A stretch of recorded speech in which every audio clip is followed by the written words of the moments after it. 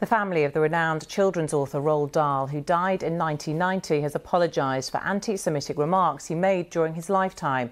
A statement condemning his controversial comments was published on a discreet part of his official website. The statement reads Those prejudiced remarks are incomprehensible to us and stand in marked contrast to the man we knew and to the values at the heart of Roald Dahl's stories, which have positively impacted young people for generations.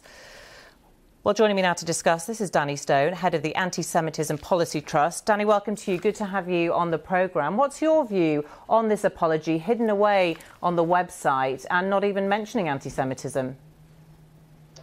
Yeah, well, uh, thank you, Samantha. Look, there's no denying that Roald Dahl's books are fantastic. You know, we're fans of Snozzcumbers and Frobscottle in this house, but his views were abhorrent. Uh, it's good that there was an apology. But yeah, I like to approach things in good faith, and I hope it was made for the right reasons. But people will rightly think, why now? Why has it taken so long? Why was it hidden? And uh, why wasn't there any engagement with the Jewish community? Um, it, it's disappointing that there wasn't. Has there been, since his death, any engagement with the Jewish community by his family over the issue of anti Semitism? Sorry, could you repeat that? Yeah, has there ever been, since his death, any engagement with the Jewish community over Roald Dahl's anti Semitic views? Yeah, not, not that I'm aware of. Um, certainly, you know, the, the stories about anti Semitism have percolated ac- across the online world over a long time. You know, it was well known. Um, but so far as I know, this was the first that we've ever seen the family come together and make anything public. And perhaps now the question is, what, what else could they do? It's good they've apologized but you know they've got a big platform. Could they use it for good? Uh, you said that his views were well known, but he died 30 years ago. Do you feel that actually, amongst younger generations, they did know about his anti Semitic views? And how important do you think it is that, that this is widely known?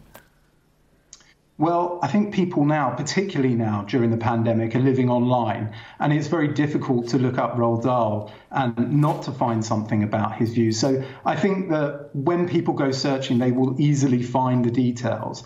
And I, I believe that education is critically important. And so, you know, any honest assessment of Roald Dahl's life must include this. And uh, and I hope that you know, as I say, the family will look to try and provide some more educational resources about anti-Semitism. Would you hope that they would engage with the anti-Semitism uh, trust and other Jewish organisations that deal with anti-Semitism?